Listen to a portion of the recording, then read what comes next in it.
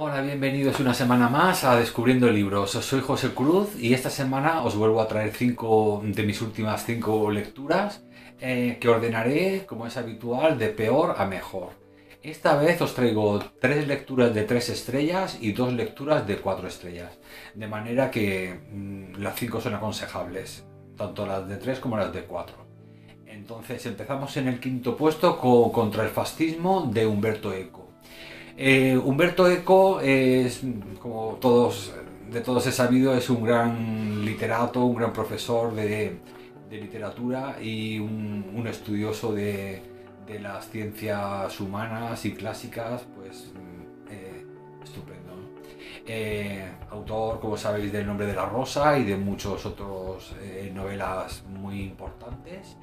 Y, este es un ensayo que trae pues al respecto de, de detectar eh, las formas de fascismo que actualmente se están propagando, se están germinando en las sociedades europeas y a nivel mundial, pero sobre todo en Europa, por el tema que, de la necesidad de la crisis. Siempre que hay una crisis, el fascismo sale eh, como si fuera una secta a buscar adeptos y, se aprovecha de esa necesidad pues, para engrosar sus filas.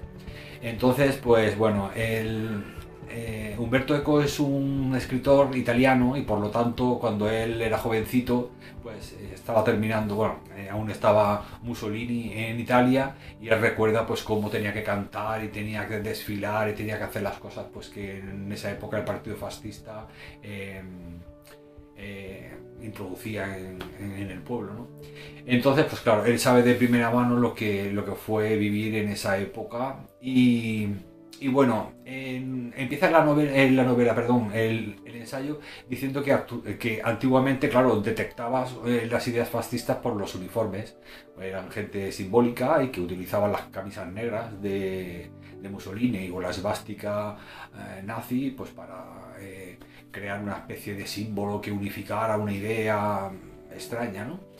Eh, pero hoy en día no, hoy en día van con traje, chaqueta, corbata y se filtran por las redes sociales y intentan pues manipular la opinión de la gente, infiltrarse en la necesidad que se ha creado en los últimos años desde pues desde el 2008 con la crisis inmobiliaria a nivel mundial eh, han ido empalmando con nueva crisis, luego ha llegado el COVID y bueno, las economías occidentales están bastante resentidas y siempre comenta el paro y la necesidad, pues estos populismos surgen de, debajo de las alfombras para, para engrosar sus, sus filas. ¿no?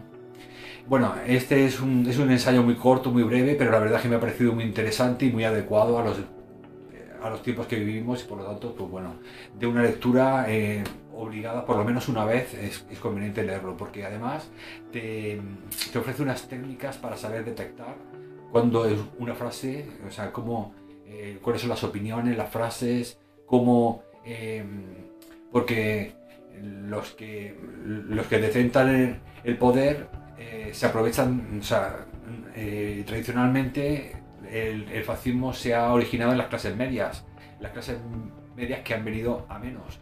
Y entonces, pues eh, se filtran ahí en esas clases medias y esas ayudan a propagar y a, y hacer que la, pues la, clase baja pues también se afilie a este tipo de, de consignas. ¿no?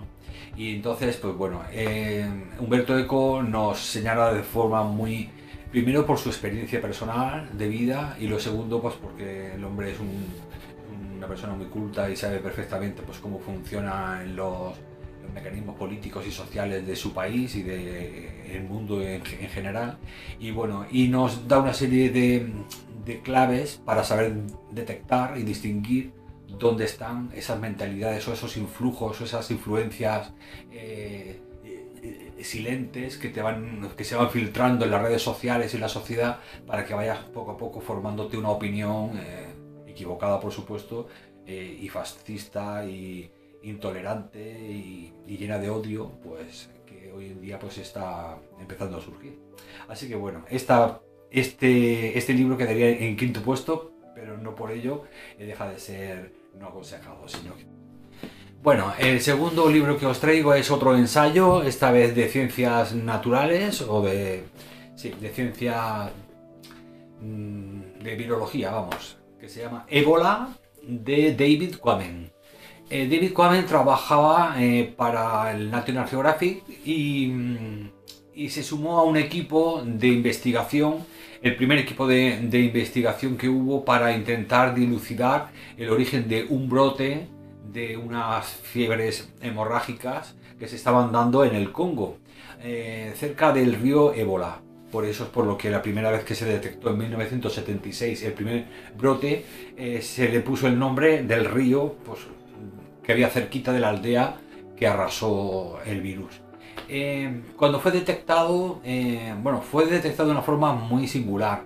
Y es que la aldea quedó prácticamente arrasada, como os digo, fallecieron 90 habitantes de ese pequeño poblado del Congo y, y, cuando fue en el equipo este norteamericano eh, de CDC con, algunos investigadores de las universidades más prestigiosas y acompañado por David Quammen del National Geographic para hacer una crónica de la investigación, pues se dieron cuenta de que empezaron a... Em, bueno, la gente de poblado, todo el mundo estaban muertos, pero los de las aldeas aledañas que habían sobrevivido empezaron a preguntarles qué es lo que había ocurrido en, el día anterior o dos días anteriores a esta circunstancia y entonces pues dijeron que habían, habían, eh, habían celebrado una fiesta que consistía en una cena y para compartir un animal que habían cazado, que habían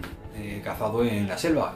Y se lo habían comido. Ahí entre 18 eran los que habían montado esa cena alrededor de un fuego. Bueno, pues siguieron investigando, estos científicos eh, empezaron a rodear los caminos y al final resulta que dieron, eh, eh, llegaron a la conclusión de que había sido un mono el que se habían comido entre los 18 mm, convecinos en el poblado, pero que el mono cuando lo habían cazado no lo habían cazado, sino que se lo habían encontrado ya muerto. Por lo tanto, claro, hicieron sospechar que quizá, pues seguramente el mono había muerto ya de la enfermedad que portase. Y, eso eh, se llevó, eso eh, afectó a las 18 personas, esas a su vez lo contagiarían a sus familias y el poblado entero quedó arrasado, los 90 fallecieron.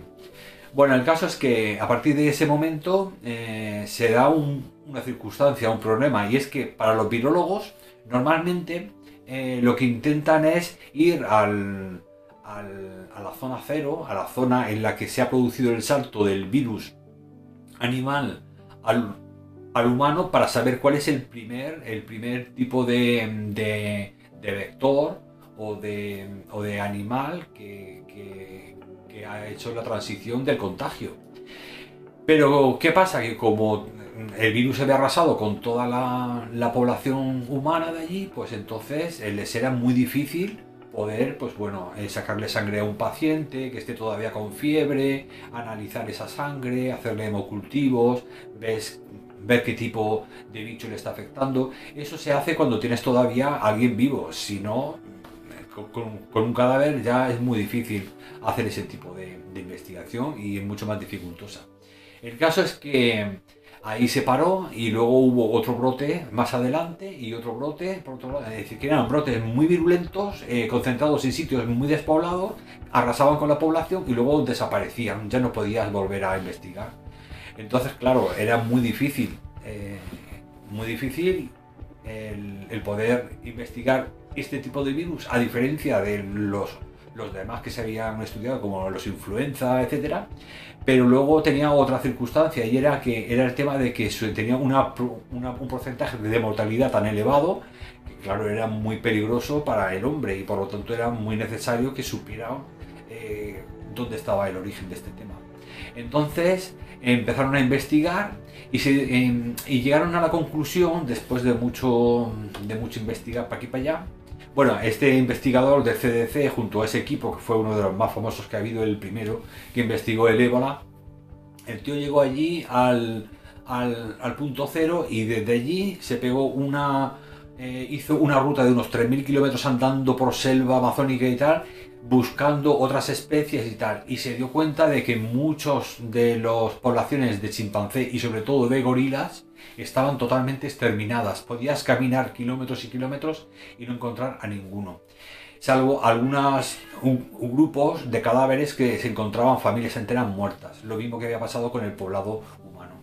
Y fue así como empezaron a investigar y se dieron cuenta al final de que eh, no podía. Eh, eh, los virus normalmente necesitan dos tipos de animales. Uno, el que hace de reservorio y al que no afecta el virus, pero es donde el virus habita para permanecer como en hibernación y esperar la oportunidad para contagiar. Y el segundo animal es el vector que transmite a otras especies como la humana. Y por lo tanto, que ellos querían investigar los dos tipos de animales, el que hacía de reservorio y el que hacía de transmisor. Y bueno, no os puedo contar más para no hacerlo es spoiler. Así que si queréis leerlo, es un, es un, un, libro muy interesante. Fue publicado en 2015, por lo tanto fue anterior al COVID, pero ya te habla del COVID-1, del SARS-1, del MERS, de, vamos, de todas las enfermedades parecidas y todos los tipos de reservorio que cada una de ellas ha tenido y dónde se han originado la mayoría y por qué. Por lo tanto, creo que es una es un ensayo que aunque tenga unos, aunque tenga siete años de, desde que se publicó, creo que es muy vigente en la actualidad y creo que os, puede, os puede eh, dar muchísima información de cuál es el comportamiento de los virus y por qué funcionan y cómo funcionan y, es muy interesante, la verdad, os lo recomiendo. Bueno, en tercer lugar, bueno, antes de continuar tengo que comentaros que aunque no os, no os muestre los libros en papel, bueno, eh, como no tengo mucho espacio en esta biblioteca, la tengo en otro lugar, en otra biblioteca que tengo, donde voy almacenando todos los libros que voy leyendo. Pero como no he podido ir a ir a, traerme los libros, pues bueno, yo os voy poniendo las portadas y, bueno, y, ya cuando me traigan los libros en físico, pues ya os lo enseñaré.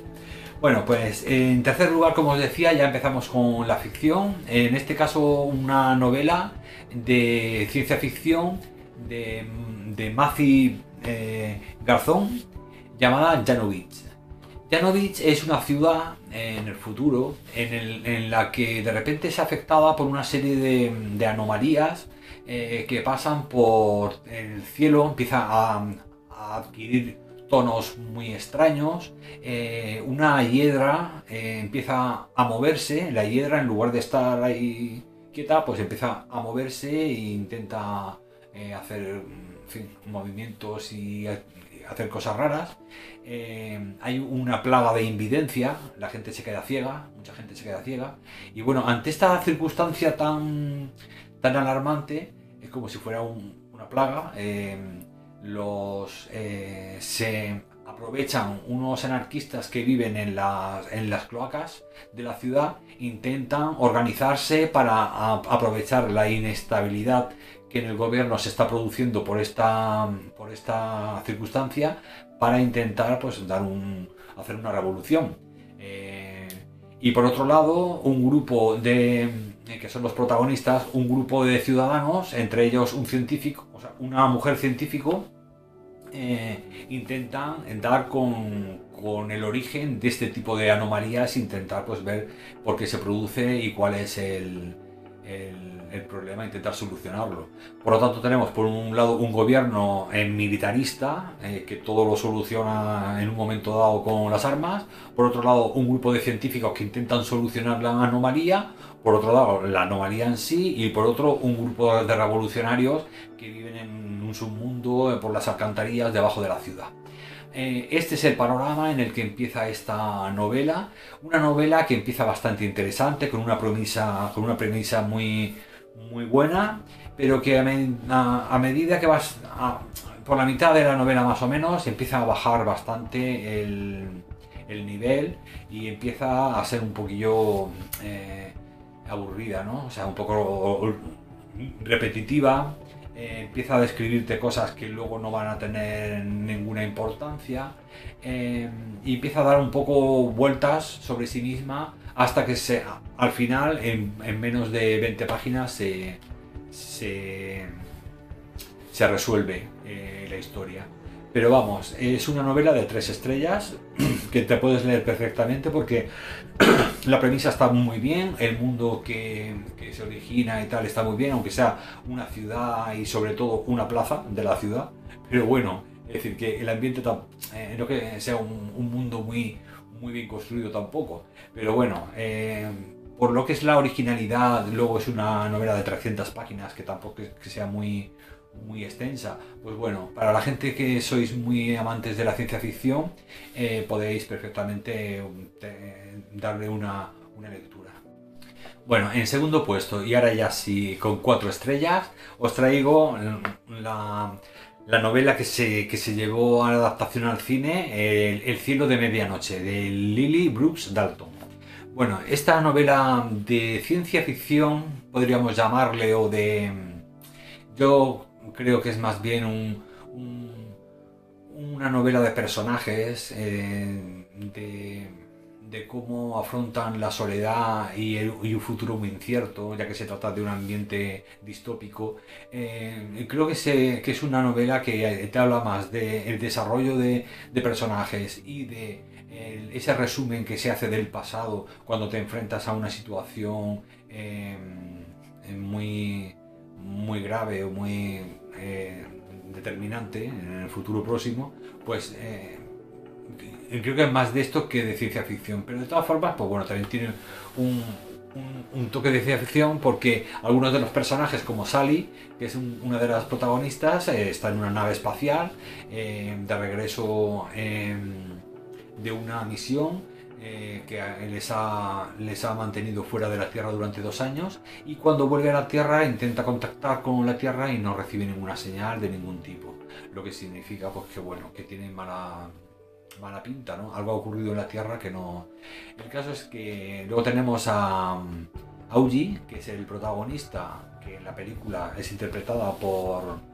por este, por... Bueno, ya me, ya me vendrá. Em, es un científico que está en el Ártico y bueno, todo el mundo... Josh Clooney. Josh Clooney. Eh, todo el mundo se, marcha de la, estación eh, ártica de científicos. Eh, evacúan, pero él se niega. Él es el único que se sigue, que se queda allí en la, en la estación, él solo. Bueno, pues eh, pasan dos días y resulta que encuentra una niña que se llama Iris y, tendrá entonces que plantearse que lo que había estado asumiendo hasta ahora mm, va a tener que cambiar el chip porque si quiere salvar a la niña pues tendrá que hacer algún esfuerzo para intentar comunicarse con alguien del exterior para ver si puede venir a evacuarla o darles una solución. El caso es que tenemos estos dos planos. Tenemos a Sally en una nave espacial con sus compañeros que vuelven de una misión y abajo tenemos en el Ártico a, August con Iris, con la niña. Y nada, ahí tendrán que pasar una serie de, experiencias y de aventuras en el Ártico para encontrar una radio para ser lo suficientemente potente como para contactar con alguien. Ese alguien puede ser alguien dentro de la Tierra o puede ser alguien fuera de la Tierra. Así que, pues bueno, no sé si habréis visto la película, si la habéis visto está bien. Pero mm, si al libro le he dado cuatro estrellas, a la película le daría un tres estrellas porque eh, después de... Mm, primero leí el libro y luego vi la película y, como suele ser habitual se dejó muchas cosas del libro fuera.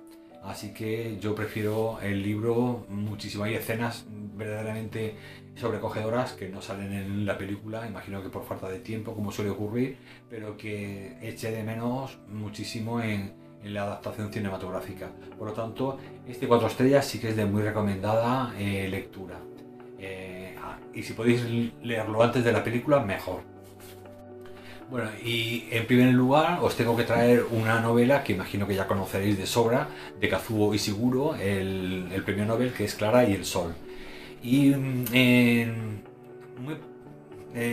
muy, parecido al anterior que os acabo de reseñar, es una novela que se vende o se ofrece como de ciencia ficción cuando realmente creo que no lo es. Es decir, también tiene un, tiene un mundo de personajes y una serie de preguntas trascendentales en, el, en, la, en la trastienda de lo que ofrece, que creo que es mucho más interesante que lo que es eh, la apariencia, que es una, una novela de ciencia ficción.